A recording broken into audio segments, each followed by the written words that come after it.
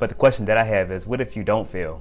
What if you don't fail? What if you actually succeed? I'm talking to you if you're listening, but I'm also talking to myself because this is what I have to tell myself every single day. What if you don't fail? What if this is the one thing that you need to do in order to succeed to get to that next level? What if this is the thing that you need to do that's gonna that's gonna open the door, that's gonna open the way for all your blessings, all your prosperity, all the things that you call into your reality? What if this is the, the one thing that you need to do?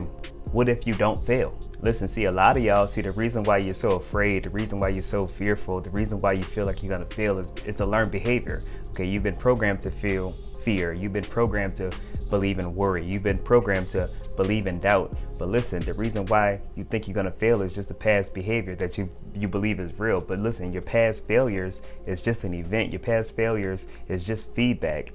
Your past failures make you think wrongly, not that you are wrong, okay? It was just feedback. It was just letting you know that you did something wrong. And what happens is you internalize that as that you were wrong. No, that was just an event. Failure is just an event. It is just feedback. There's no way that failure can be a character trait. It's not a character trait, it's an event. It's information. It's letting you know that you did something wrong. It's letting you know that there is need for correction. If you make the correction, and then try again, you'll get further along on that journey. Okay, you can't see the top of the staircase, but you have to believe that there is a top. Okay, you have to start step by step, whatever that may be for you. Take the first step, the next step will appear.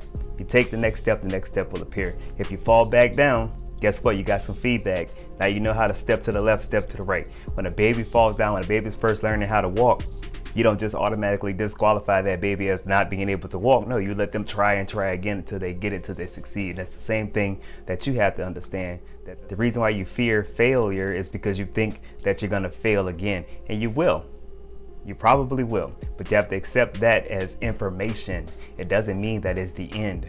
Okay, that's the difference between where you are and people who are successful, that they understand that failure is just an event, it's feedback, it's information. You take that information that you learn, then you apply it to the next step. You apply it to what you have to do to regroup to get to the next level. You apply it to what it is that you're doing next, okay? It's just information.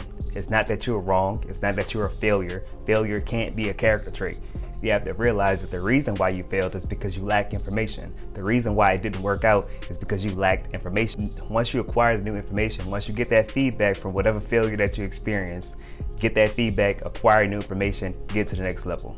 It's simple. And also you have got to stop doubting yourself, okay? Doubt is also just a learned behavior. It's just a learned behavior, okay? You always hear people talk about the good angel, the bad angel. Well, listen, whichever one that you entertain, whichever one that you feed, whichever one that you pay attention to is who's gonna win. Doubt is just the parts of your subconscious mind trying to warn you of the things that you should be aware of. Not that you should be afraid of, just that you could be aware of it and be able to sidestep it, move to the left, move to the right, gather information on how to overcome it. But you don't have to listen to it because it's not even real. It's just potential, it's potentiality. It doesn't mean that it's actually going to happen. It's just a potential reality that you can experience.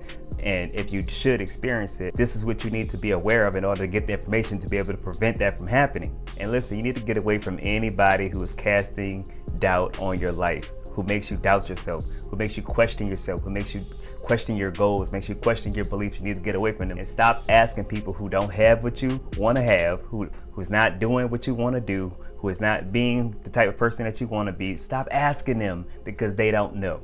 So stop asking them because all they're gonna do is cast doubt. All they're gonna do is limit your beliefs. All they're gonna do is limit your perspective. All they're gonna do is tell you from their limited small perspective what they think. And they don't know because they don't even think. And this is not shade to anybody in your life. This is not shade to your mama, your daddy, your brother, your sister, your cousin, whoever. This is not shade to anybody.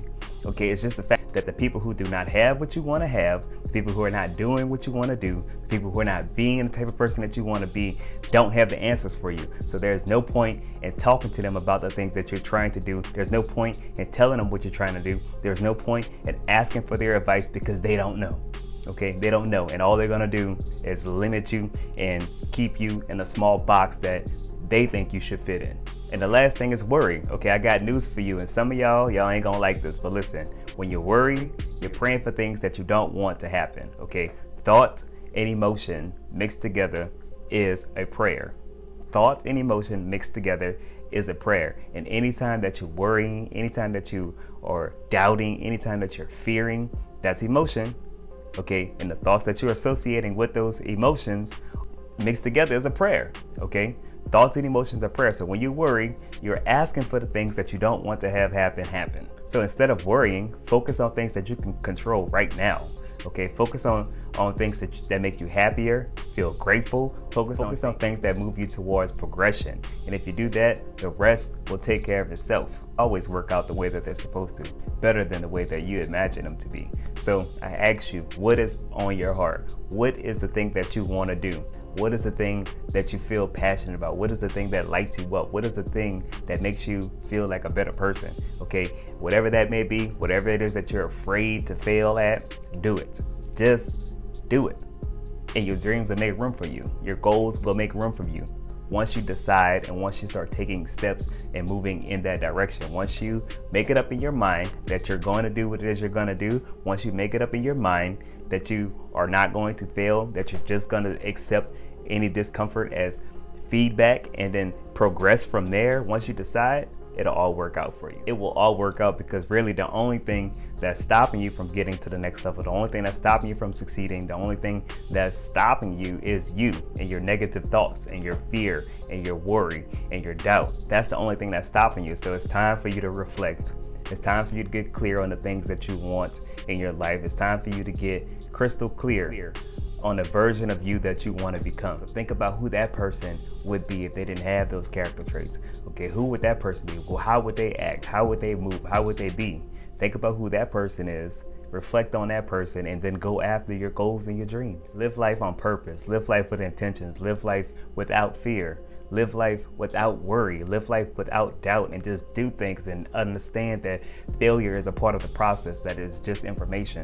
That if you apply that information to what it is you're doing, you're gonna be better off in the end. All right, so it's time for you to start living life on purpose. It's time for you to start living life with some intention. It's time for you to give up attachment to outcomes, give up attachment to what people think, stop caring so much about what people think. Listen, I'm talking to you, but I'm also talking to myself, okay? This is a message that I need to hear for myself as well. It's time to stop caring about what people think and just start living life with a purpose though. Okay, don't be afraid to start over. I'm on my third or fourth life. I don't know how many times I done start over because I understand the importance of taking that feedback from those past failures, those events, and, and applying it to what's now, okay? So I don't have a problem with starting Okay, you start over by creating new rules for your life, okay? You start over by having new standards for your life. Just because, just because you used to accept something before, don't mean you have to continue to accept it today. Just because you used to move a certain way, because you used to do things a certain way before, don't mean you have to continue to do that today. Okay, today is a new day and I set new standards in my life, okay? I set new standards, I have new rules, okay? So listen, don't be afraid to start over because you can have more than what you have now because you can become more than what you are now, okay? Okay, that's it, that's all. I'll catch y'all in the next video.